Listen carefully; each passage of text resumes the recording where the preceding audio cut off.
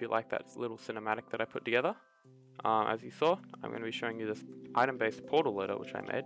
Um, it's very reliable and compact. Uh, I tried to make it as lag efficient as possible. Um, so it works by sending an item through a portal. Just turn it on here. So I've got this hopper clock which sends an item through the portal every 295 game ticks. Um, and then when an entity goes through a portal, uh, it loads a certain area for 300 game ticks. So it loads a 3x3 area um, of entity processing chunks, a 5x5 area of redstone processing, and 7x7 of non-ticking. But um, most cases, they just make use of the 3x3 area, because that pretty much loads everything. We have this one wide tileable return station. It's extremely compact, dustless even, and this pretty much just picks up the item with this hopper minecart, cycles it back up here, just like that, um, and then it uses an item elevator, as you saw in the cinematic, to send it back up here. Now, something that I didn't mention before is that when the item gets shot up through here, it gets spat out just above the obsidian block. Now, you'd think that this hopper minecart may actually pick that item back up again after it just got shot out, which would create an annoying cycle. Um, but instead what happens is because this minecart is just situated on the rails and it's not like inside the obsidian block here, if you shoot out the item, in this case a salmon, um, in the middle of the block here, the hopper minecart actually can't reach it. So luckily in my case, the item goes up into this block, gets shot out of the dropper, goes up here, um, checks for any blocks around it, to see if it can escape, goes up to the next block.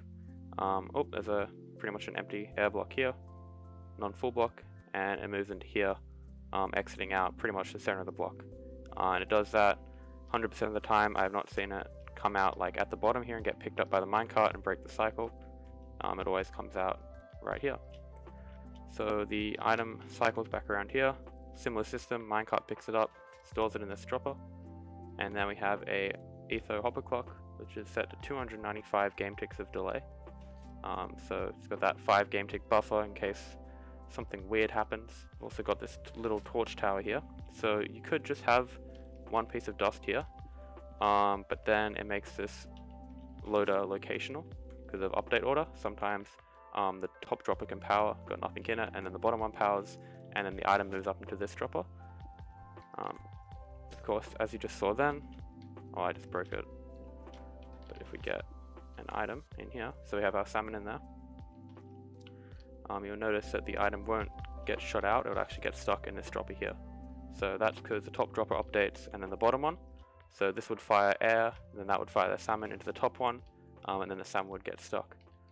So to get around this problem, you can either build it in a different location, um, which of course isn't always an option, or you can just use a torch tower, which may or may not add more lag, but it just it makes it like infinitely more reliable really. So yeah, so I got around that problem. So you may have seen some other portal loaded designs out there which use minecarts and send those through the portal. And the reason for that is because minecarts are 100% reliable, um, and the reliability there is that if you send a minecart through a specific spot in the portal, it's guaranteed to exit the portal at that same location with the same velocity. Um, now the same goes for an item, but it doesn't because every once in a while um, the item can get shot out at a random point with a random velocity um, and screw screw everything up. So I've kind of mitigated this by just adding blocks on all sides of the portal and then a hopper minecart just scanning below. So even if an item is ejected at random, it'll just hit the edges, hit the sides of the portal, drop down and then be collected by the minecart. So this makes the items 100% reliable as well.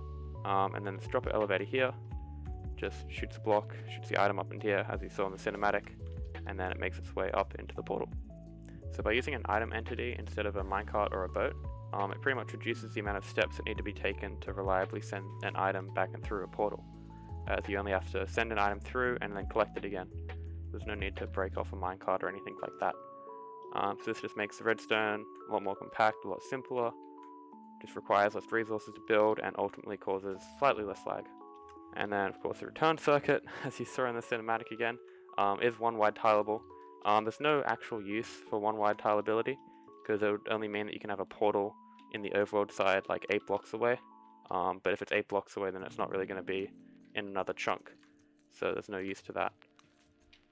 Um, you can have it 3 wide tileable though, that does have some use, I guess, because you can load, you know, a uh, 3x4 area of chunks either side, I guess. Um, but yeah, I just I designed this one for a ncore nether tree farm that I'm working on, so I needed a specific portal loader that's really lag friendly, uses like the least amount of resources possible, because the ncore design is, is rather massive that I'm making, and, and lag is going to be an issue, so I just designed this one, which fits all the criteria that I'm looking for, and it might hopefully meet your criteria too. Overall, there's, there's very little to improve with portal loaders, like they're a very basic kind of contraption. And because it's so simple, I'm going to be doing a quick block by block tutorial in case you need a helping hand when working on stuff like this. So these are all the items that you're going to need, and start by just building a couple blocks off the ground. This is where you're going to construct your portal. Um, so you want a solid block there, build up like this. If you want, you can fill in your corners.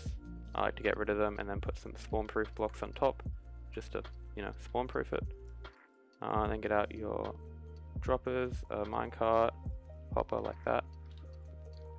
We're going to start placing these down. So there's your two droppers, then a hopper. Then you put like a slab down, two rails like that, another solid block, and then a lever, and facing in that way. Um, then we're going to come over to here, and we're going to have a torch pointing into the block, and a torch on the other side. It's going to click like that, which is pretty cool. And we're going to start building up the hopper clock. So we're going to have two hoppers facing into each other. Uh, we can chuck our bowls into them, like so. Going to add a comparator with some dust. Then we're going to come over here. We get our sticky piston, block of redstone, and then a piston facing back in, like so. And now we want to get our, oh, there we go, get some We want to kind of cover up this side here. Um, also, you want to light your portal about now. Cover up the other side. And then this is the other important part. So you want to kind of fill in the area just around this dropper. So like I'm doing here, chucking a minecart while you're at it just to make sure that the item is going to get sent through up these blocks and into the portal. Um, if you leave this block exposed and you chuck a concrete in there, um, it can get spat out the side, so that's not what you want. I like to fill in the corners as well. I don't think it has any effect as items can't really get shot out this corner here. Um, just kind of makes it smooth and possibly increases reliability, but I'm almost 100% certain that items can't get ejected out these corners. So that is pretty much the overworld side of things. Um, of course, you could build this side in the nether and the one-way tileable return circuit in the overworld. It just depends, you know, on preference, what side you're going to be activating it from, all that stuff. Um, if you want to toggle this on and off, you can just add a torch there, and then that can hard power the piston there, which disables the clock. Um, and then you can just you know, turn the torch off like that, which also turns the rails on, which starts the whole the whole farm back up. Um, at this point, you can also chuck in any old item. put in some concrete. Okay, so now we're going to build up the return side of the portal loader. So we're going to start by properly linking up our nether portal with the other side. So to do that, you just simply look at the portal block, um, you grab up F3, and you look at these coordinates over to your right. So we have minus 10, and you just want to divide each um, coordinate by 8. So don't worry about the middle one, that's the y coordinate, that's the height. That doesn't matter unless you're going above y127. In that case, it will link to portals that are created above the bedrock roof in the nether. So minus 10, just want to divide that by 8, we get minus 1.25, and you want to always round down to the nearest integer. So we're going to put minus 1 into chat. Um, we also have 358, so 358, divide that by 8, we get 44.75. Now, normally you would round that to 45, but the game likes to round down to the nearest integer. Um, it's just a little thing that it does. So we're actually just going to type in 358. Um, no, we're not going to type that. We're going to type in 44, sorry. Oh, it's a little mind blank then. So we have our coordinates minus 1 and 44. We're going to jump through the portal. Um, and we can see that it has actually gone to minus 1 and 44, which is very nice of it. Now, it doesn't always do that.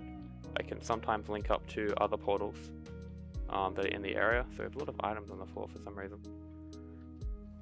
definitely has nothing to do with those command blocks up there. Anyway, so you can see the portal has kindly linked to the coordinates that we wanted, but that doesn't matter because it has generated on the bottom of the world, so we have to go up a couple blocks. So we have space to build the logic. So you have your portal. Um, you can light it right now if you want to. Put items around it, like put glass around it like that. Spawn proof the top. And then similarly to what we did before, I'm just going to place some concrete. Get two droppers going up like that. Hopper, slab. And then you can just have a lever attached to the obsidian like that. Or the block, doesn't matter. And then I'm going to take a signal out the back using a comparator. Pump that signal through the trapdoor and observer can detect that, which will power the bottom dropper and then the top one. But if we were to chuck an item in there, that item would then get ejected off to the side. So we want to kind of encase these blocks. Um, in this case, I'm using glass. Just like that. And now the item will get sent through the portal 100% of the time. Um, if you're worried about ghast fireballs breaking, you can always build this out of some high strength material. Um, but I'm just going to settle for glass at the moment because it looks good on camera.